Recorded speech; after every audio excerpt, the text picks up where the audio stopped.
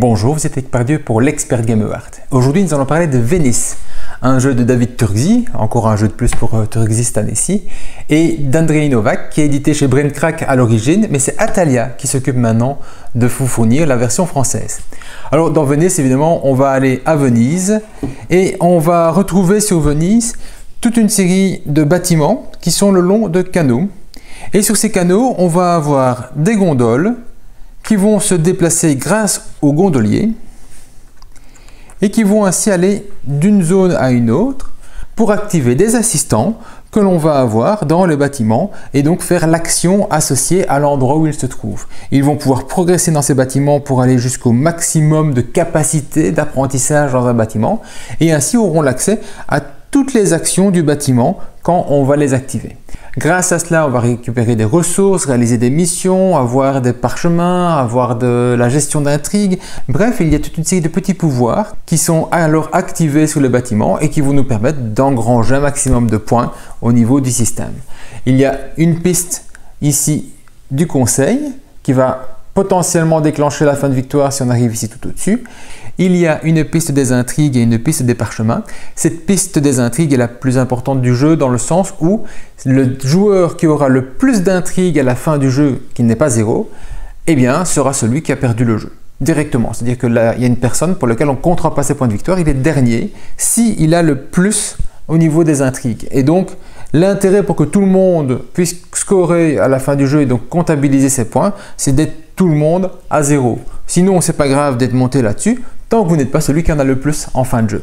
Très important cette piste-là. Alors, en début de jeu, on va commencer joueur après joueur par placer ces premières gondoles. On les place donc sous des zones qui sont plus claires, l'endroit où l'on veut, et on va pouvoir placer un assistant et activer le bâtiment. Donc globalement, on va se placer quelque part. Chaque bâtiment a une porte d'entrée liée au canal, et donc on va placer sa gondole sur la porte d'entrée associée au bâtiment. Donc chaque fois, il y a une petite flèche pour ceux qui sont avec plusieurs euh, zones d'eau tout autour, bien préciser l'endroit où c'est lié. Des bâtiments mobiles qui sont rangés au niveau du jeu et des bâtiments fixes. Donc je me place quelque part. Je mets un assistant sur la première case, ici, à l'entrée, qui est toujours tourné partie claire vers l'entrée pour bien voir par où on commence au niveau du bâtiment.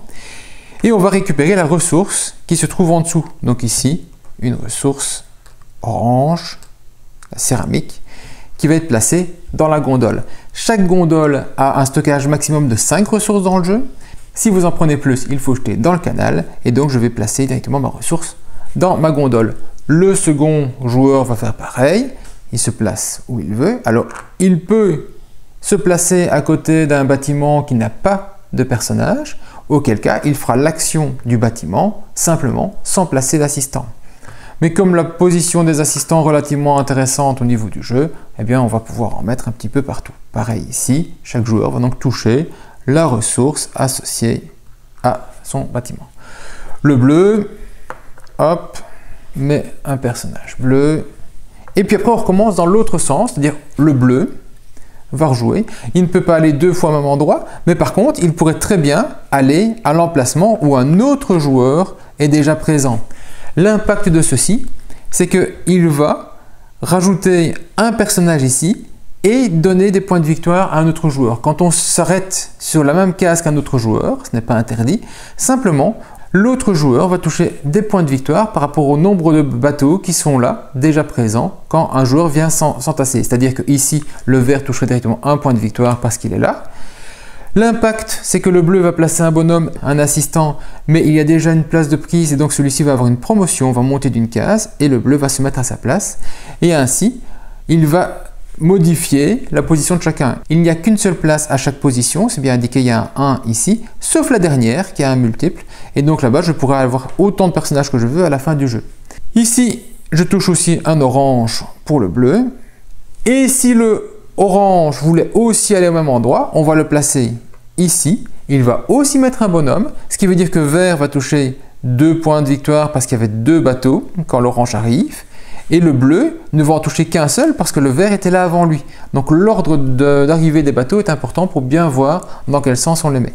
Et l'orange va alors aussi placer un bonhomme et il va pousser les bonhommes présents. Ça, c'est vraiment le, principe de base du jeu. Quand on va se placer quelque part, on va toujours pousser ceux qui étaient déjà présents dès qu'on progresse dans une zone. Et puis le vert va placer son deuxième bonhomme. Il est tout heureux, il commence déjà avec 3 points de victoire et il va pouvoir placer son autre gondole ailleurs, placer toujours un assistant et toucher un cube gris ici. Trois couleurs de cubes, le mauve, l'orange et le gris. Chacun a le même nombre de bâtiments qui en dispensent, donc on en a quatre pour chacun. Et on a ainsi une mise en place de départ. Au niveau de chaque tour maintenant, la plaquette ici vous rappelle les actions. La première chose à faire, c'est jouer une carte influence. Des cartes influence, on n'en a pas au début du jeu. On peut en avoir ainsi en main. Elles vont me donner un pouvoir unique, temporaire, donc une action tout de suite qui vont augmenter mes capacités. Et que je vais jouer une seule carte influence par tour pour augmenter quelque chose quelque part. Donc il faudra les chercher par des actions qui se trouvent sous des bâtiments. Rien au début du jeu. Ensuite, on va déplacer notre gondolier. Le gondolier, c'est un personnage à part, donc il est ici. Et je vais le mettre sur une de mes gondoles au début du jeu. Donc je choisis l'endroit où je veux aller. Par exemple, celle-ci. C'est la gondole active, c'est la gondole sur laquelle je vais faire mon action de ce tour-ci. À chaque fois que c'est mon tour de jeu, je dois changer mon gondolier de gondole. Et donc on va faire bouger une gondole, puis l'autre, puis une, puis l'autre. Sauf si je n'ai pas envie que mon gondolier change de gondole, je peux le forcer à rester sur la même gondole, auquel cas je vais payer 3 sous. J'ai 6 sous au, début du jeu en tant que premier joueur, les autres joueurs ont 6, plus 2, plus 4, donc au fur et à mesure qu'on est placé dans l'ordre du tour, loin du premier joueur, on a de l'argent en compensation. Donc le déplacement du gondolier, sauf si je veux rester sur la même gondole, je paye 3 sous. Ensuite, je vais déplacer ma gondole. Alors ma gondole, elle va se déplacer de zone claire en zone claire et vous voyez qu'entre les zones il y a de l'argent. Et eh bien cet argent c'est l'argent que je vais devoir payer pour me déplacer si je veux me déplacer loin et je vais ainsi pouvoir aller d'un endroit à un autre pour faire l'action associée. Il n'y a pas de sens à ma gondole donc je peux très bien être placé dans une direction en étant seul et dire bah tiens je suis censé aller par là parce que je vois que je tire par là mais en fait je désire aller par ici il n'y a aucun blocage au niveau du déplacement. Vous pouvez faire même des allers-retours avec votre gondole, une fois ceci, puis une fois cela, puis une fois ceci, puis une fois cela, entre deux tours. Parce que une règle de déplacement au niveau de la gondole, c'est que 1. On ne peut pas rester sur place. 2. On ne peut pas passer deux fois par le même canal. Donc je ne pourrais pas tourner comme ceci. 1, 2, 3, 4 et je reviens au départ, interdit. 1, 2, 3, 4, je reviens ici, interdit aussi. Donc je dois me déplacer sur des cases que je n'ai pas encore utilisées et je ne peux pas rester sur place et je ne peux pas revenir au même endroit. Alors mon déplacement il a un coût. Le premier déplacement que je voudrais faire entre deux cases, comme par exemple ici, ça coûte 2 si je veux aller là-bas. Sauf que le premier déplacement il est gratuit. On a un petit outil ainsi qui permet de dire bah tiens, je veux aller par là. Eh bien mon premier déplacement est gratuit. À quoi il sert? Au niveau du jeu globalement, souvent on ne va pas l'utiliser. Pourquoi? Parce que c'est plus facile de directement se déplacer que de commencer à placer ce marqueur-ci. Mais effectivement, il rappelle, un, d'où on part, parce qu'on sait ainsi où l'on va. Si on décide d'aller quelque part, puis on revient en arrière, on s'est trompé, c'est pas là-bas qu'on veut, ben on peut avoir oublié où on était au tour précédent. Et donc ça, ça permet de se rappeler d'où on est parti, mais aussi de voir que la première zone a été masquée par le marqueur, et donc je ne paye pas l'argent. La première case, elle est gratuite. Je peux aller ici sans devoir payer d'argent. Par contre, si je veux aller plus loin, je vais payer l'argent qu'il y a entre chaque zone que je traverse. Donc si je veux aller jusqu'ici, je devrais payer un sou. Lors de votre déplacement, vous allez peut-être décider de vous arrêter à côté d'une gondole d'un ennemi ou de passer outre. Vous allez peut-être passer devant des endroits où vous avez déjà des personnages. Tout ceci a un impact. Alors simplement, s'arrêter à côté d'une gondole, ben, je l'ai déjà dit tantôt, c'est comme au départ, je vais donner des points de victoire aux personnes qui étaient déjà présentes par rapport au nombre de gondoles qui s'accumulaient devant elles depuis qu'elles sont arrivées. Ici, je donnerai un point de victoire à l'orange. Si, je décide par contre de passer outre et d'aller donc plus loin, je fais plus loin, donc je n'oublie pas de payer ici deux pièces et là-bas une pièce et de m'arrêter plus loin, et eh bien dans ce cas, je passe à côté et les gens vont dire qu'on est en train d'intriguer parce qu'on a laissé passer l'un l'autre et on a chacun une piste d'intrigue. Cette piste d'intrigue, dès que deux gondoles se croisent, chaque joueur des gondoles va gagner un point au niveau de l'intrigue. Donc c'est pas très bon pour les joueurs d'avoir les gondoles qui se croisent en tant que telles. Si je ne veux pas que cette intrigue monte, eh bien je peux payer à la place un parchemin pour éviter que lors d'un croisement, il y ait une, accusation de connivence entre deux joueurs. Et donc je payerai un parchemin pour ne pas avoir mon intrigue qui monte. Si j'ai pas de parchemin, bah, pas de chance, ça monte. Si mon intrigue montait jusqu'au-dessus à 8 et que je ne sache plus monter, eh bien ce serait deux points de victoire de perdu à chaque fois que je suis censé gagner une intrigue. Dans le jeu, il peut aussi avoir des ponts qui vont être placés. Ces ponts vont avoir un impact, c'est-à-dire que si un pont est placé quelque part, l'argent qui est indiqué en dessous n'est plus à payer. Donc on passe gratuitement sous un pont, que ce soit notre première case, avec ceci de toute façon c'était déjà gratuit, ou alors que ce soit une case plus loin. Donc, sous un pont, tous les joueurs ne payent pas l'argent qui est en dessous. Mais si vous passez vous-même sous votre propre pont, vous touchez une pièce. Si vous passez sous le pont d'un joueur adverse, imaginons comme ceci, et eh bien là-bas, vous prenez un point d'intrigue. Donc les points en avantage de déplacement au niveau de l'argent, mais par contre, euh, potentiellement de l'intrigue qui monte à cause de ça.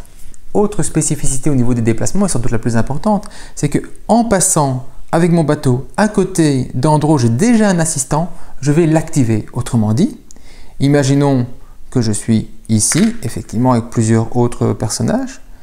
Je pars de là et je décide de passer par ici. Je ne m'arrête pas et je continue, je passe par ici ou par là, qu'importe. Eh bien, en passant devant mon personnage déjà présent, je vais activer le pouvoir de la pièce dans laquelle il se trouve. Donc ici, en passant simplement comme ceci, je toucherai un petit cube mauve supplémentaire. Ce qui veut dire que si vous avez mis des assistants à plein d'endroits et que vous décidez de faire des grands voyages, eh bien devant chaque endroit où vous avez un assistant, vous allez récupérer des ressources éventuellement, voire plus, parce que plus ils vont monter haut, plus ils auront des pouvoirs supplémentaires. Alors il y a un cas spécifique qui n'est pas tout à fait le même, c'est que si je passe devant mon autre bateau, je n'active pas le personnage qui se trouve dans la maison. Par contre, en croisant mon bateau, je peux décider de faire du changement de ressources de l'un vers l'autre, de l'autre vers l'un. Et donc, pas nécessairement pour avoir la même chose, peux très bien décider, bah, tiens, voilà, on va, on va faire comme ceci. Tout va de l'autre côté parce que c'est le bateau que je vais déplacer après.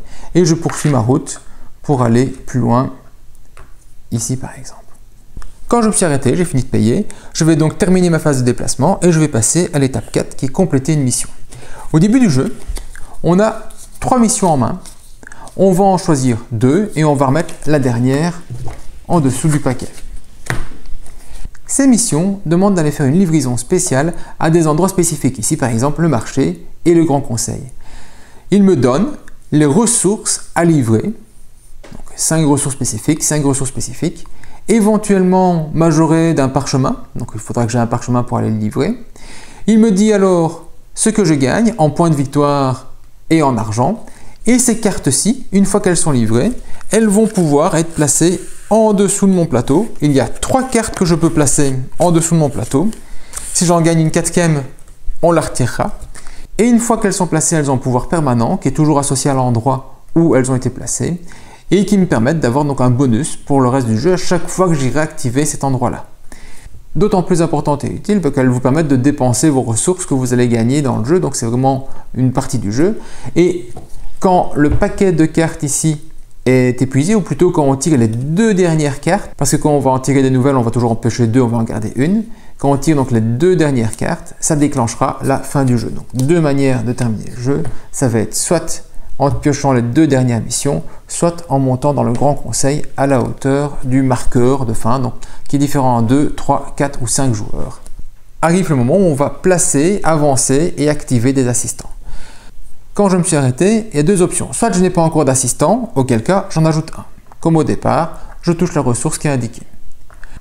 Soit j'avais déjà un assistant et il va avancer d'une case et je vais pouvoir activer toutes les cases qu'il a déjà traversées. Donc ici celle-là, payer un sou pour gagner deux ressources et une ressource orange. Donc je pourrais avoir directement trois ressources pour un sou.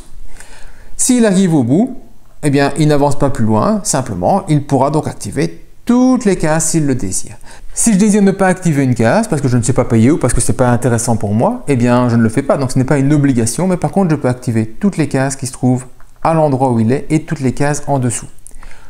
Je l'ai déjà dit, s'il y avait déjà un autre joueur qui était présent quelque part, hop, comme ceci, et que j'arrive ici, il était déjà présent, je dois le faire avancer, je le fais avancer, ça fait une promotion sur l'autre joueur. Il ne gagne rien immédiatement, mais si l'autre joueur vient ici activer son personnage en s'arrêtant ou en passant devant, il va pouvoir récupérer les ressources.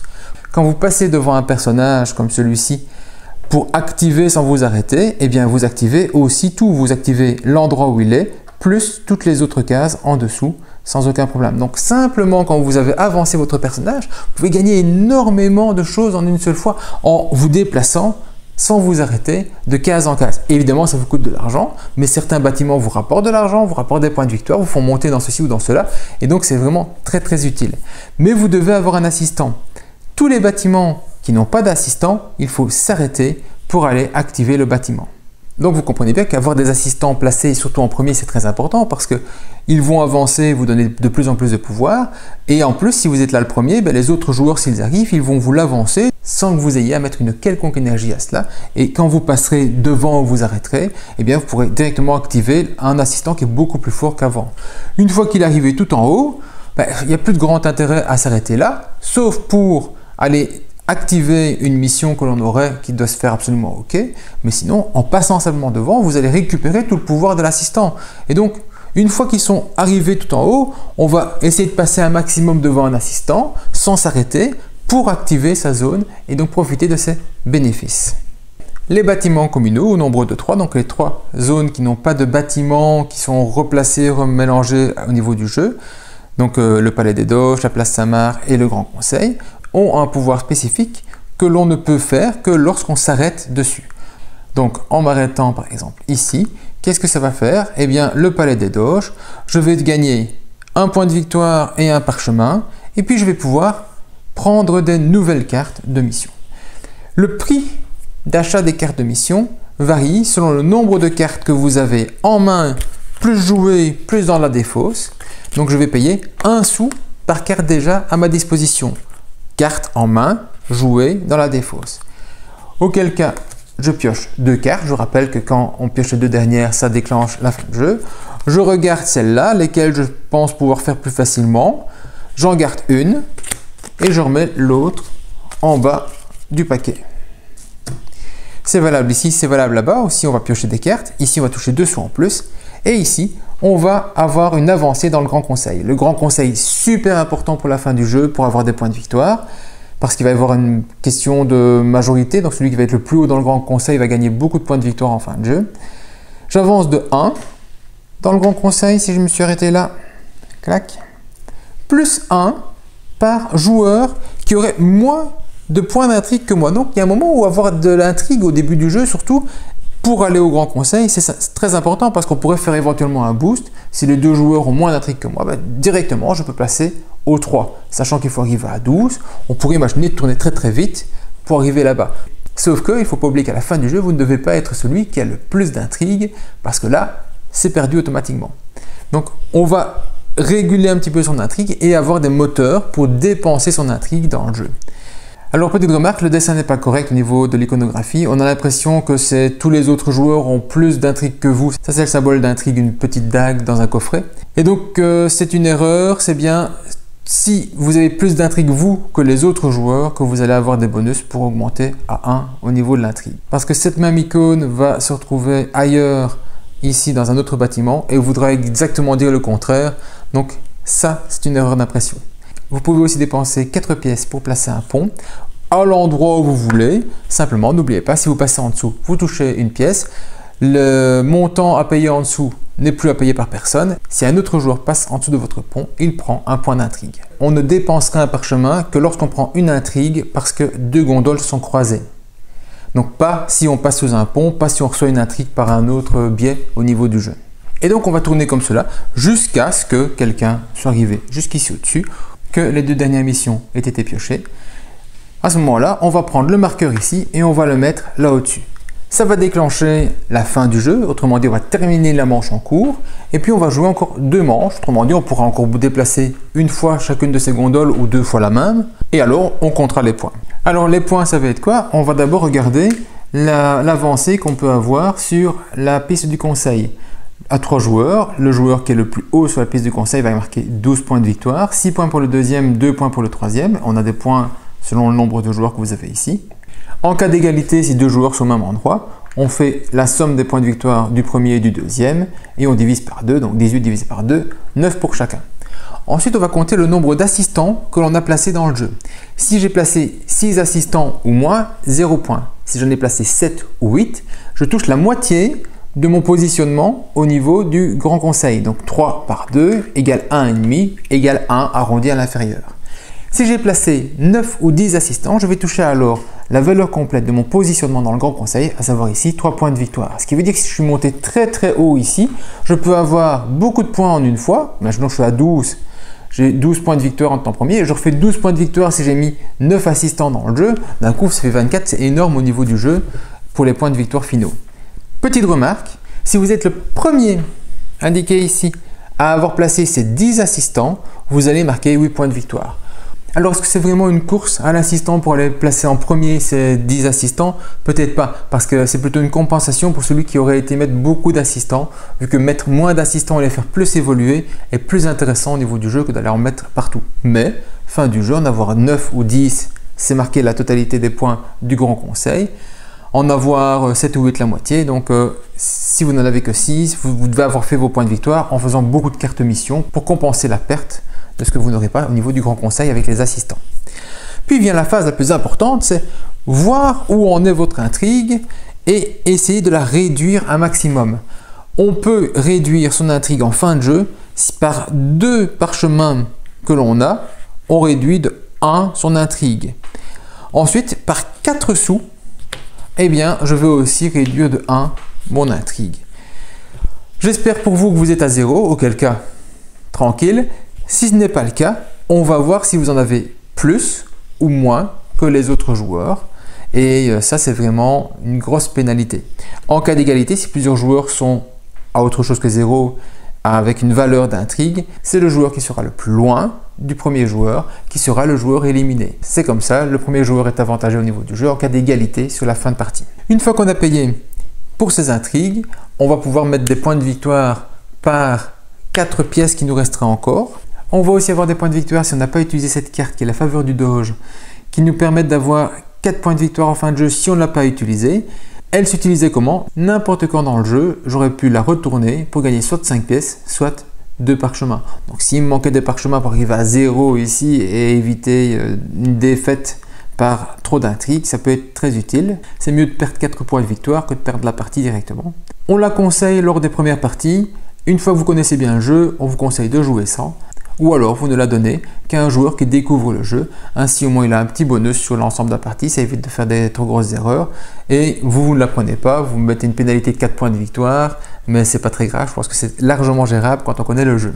Si quelqu'un avait donc plus d'intrigue, il a arrêté, on ne compte pas ses points de victoire. On voit alors qui a gagné. En cas d'égalité, c'est toujours le premier joueur, celui qui est le plus proche du premier joueur qui gagne. C'est lui qui brise les égalités. Et on a fait le tour. Alors au début c'est un petit peu difficile de savoir ce que fait chaque bâtiment, ce qui veut dire que c'est un jeu qui va avoir une grosse marge de progression, parce que quand vous connaissez le jeu, les bâtiments un petit peu ce qu'ils font et comment les agencer, vous allez vous rendre compte qu'il y a des trucs qui vont très bien ensemble. Je vais par exemple partir sur le Sénat. Le Sénat, un cube au départ, puis après je vais prendre une pénalité, donc une intrigue, pour avoir deux parchemins étrange. Pourquoi je vais prendre des intrigues alors que c'est négatif? Parce que les intrigues, ça peut être très utile pour moi. Si j'en ai plus que les autres, je vais monter plus vite au Grand Conseil. Et puis, il y a d'autres endroits où je vais pouvoir les dépenser. Là, je gagne un parchemin et je donne une intrigue à tous les autres joueurs. Pas de chance. Et là-bas, trois points de victoire. Donc, une fois que mon Sénat, j'ai un bonhomme qui est monté tout au-dessus, à chaque fois que mon bateau passe devant, je marque trois points de victoire. Je donne une intrigue aux autres, je prends un parchemin pour moi. Je peux décider de ne pas prendre l'intrigue et pas prendre les deux parchemins qui vont avec. Mais une intrigue, ça vaut deux parchemins à la fin du jeu. Donc si je ne prends pas ma case, ou si je prends ma case et qu'à la fin je peux la rembourser, quelque part c'est la même chose, sauf que mon intrigue, je pourrais la valoriser ailleurs. Comme par exemple à l'église. À l'église, si j'ai mon bonhomme qui est avancé un petit peu plus loin ici, qu'est-ce que je vais avoir comme avantage? Eh bien, je vais pouvoir dépenser une intrigue que j'ai pour gagner deux points de victoire. Une intrigue pour gagner un point de victoire ou me dépenser, défausser d'une intrigue simplement. Donc, être monté dans les intrigues parce qu'on en a récupéré quelque part, on peut en récupérer ici aussi pour 4 pièces d'or, ici pour 4 pièces d'or, donc je peux avoir beaucoup d'argent en prenant des intrigues, mais je passe par ici avec mon bateau et je passe par ici avec mon bateau, je me prends des intrigues, je les dépense, au final, j'ai rien pris sauf de l'argent et des points de victoire. Donc si vous arrivez à avoir une progression intéressante comme ceci par exemple, avec mon personnage qui est monté ici et mon personnage qui est monté là-bas, mon bateau il arrive et il passe par là. Premier déplacement gratuit. Je passe ici. J'active mon personnage. Je prends deux intrigues et 8 sous. Deux intrigues et 8 sous. Plus un cube. Je ne m'arrête pas. Un cube gris. Je fais un croisement avec un autre joueur. Je prends une intrigue en plus. Je continue. Je paye un sou parce que je vais plus loin. Premier, c'était gratuit je passe devant mon église et ici je reprends un gris. Je peux me débarrasser de trois intrigues, une, deux, trois, une ici, une là-bas pour gagner un point de victoire, une là-bas pour gagner deux points de victoire. Et je continue mon chemin, éventuellement. Hop, j'ai un personnage qui se trouve ici, je décide de m'arrêter pour le faire progresser et je veux encore gagner tout ce qui est autour des zones. Donc 3 sous, 2 points de victoire,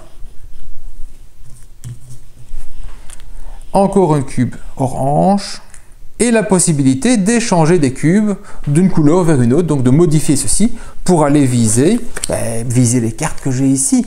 Donc par exemple ici, qu'il me faudrait deux gris, un orange, ben, tombe bien, je les ai déjà, et je pourrais aller continuer à la bibliothèque. Ah, elle se trouve à côté, ben, je au final, je ne m'arrêtais pas là, j'ai quand même pris tout, sauf les points de victoire. Tac. Je dépense les deux pièces supplémentaires de l'endroit où je suis passé ici. Je termine à la bibliothèque. À la bibliothèque, avant d'avancer mon, mon, personnage, je fais ceci. Je touche 5 points de victoire. 11, 5 sous. Et je place ceci. Ce qui dit que pour chaque deuxième parchemin que vous gagnez à votre tour, vous gagnez une pièce qui c'est valable n'importe où. Ici, je vais gagner. ici, je vais monter de 1 en progression. Je vais donc gagner 2 parchemins. Ah une pièce supplémentaire et un mauve. Ceci, je l'ai payé pour jouer ma carte. Je mets un mauve à la place.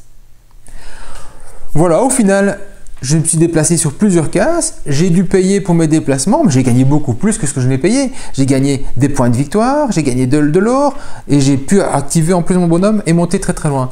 Donc se déplacer très loin, c'est vraiment pas un problème pour peu que vous ayez monté votre personnage et gagné de l'intrigue, regardez, j'en ai gagné, et en même temps, je les ai perdus tout aussi vite. Donc il y a largement moyen de terminer avec zéro intrigue au niveau du jeu, et donc de systématiquement scorer des points de victoire. À vous de placer vos personnages à un endroit ou à un autre qui vont vous donner le maximum de bonus à ce niveau-là. Un autre joueur peut faire terminer le jeu rapidement en fonçant très très vite dans le conseil, en prenant des cartes, prenant des cartes. N'oubliez pas quand vous prenez des cartes, vous devez payer selon le nombre de cartes que vous avez en main en jeu et dans la défausse. Et ainsi, vous allez avoir une mécanique assez rapide qui va vous permettre de gagner des ressources et les utiliser. Donc, faut vraiment ne pas avoir peur de se déplacer parce que se déplacer permet d'activer vos personnages partout où vous êtes, soit de faire le plein au niveau des ressources, soit de récupérer des bonus dès qu'ils ont progressé assez haut. Donc être les premiers permet d'être poussé par les autres joueurs, parce que tout le monde a intérêt en fait de placer ses personnages, en tout cas en placer un certain nombre, et ainsi avoir des bonus rapides au niveau de la montée. Voilà, on est donc sur un jeu qui n'est pas vraiment un jeu expert, mais plutôt un jeu connaisseur, très accessible au niveau des règles de déplacement, mais très intéressant au niveau de la manière de cumuler les points, de faire avancer ses assistants dans un bâtiment à un autre, l'ordre dans lequel on va déplacer, parfois décider de ne pas changer son gondolier en payant trois pièces pour réactiver une gondole et aller faire des actions qu'on a plutôt visées par ici. N'oubliez pas quand vous croisez des gondoles, vous pouvez changer les ressources d'une gondole à l'autre, donc très utile pour aller réaliser vos missions un bon jeu, un bon matériel, accessible, donc une belle réussite. Bravo à Turgzy encore une fois et à Atalia pour la localisation. Voilà, je vous dit. Si vous avez apprécié la vidéo, n'oubliez pas un petit pouce bleu et de vous abonner. Maintenant, c'est à vous de jouer. Bon jeu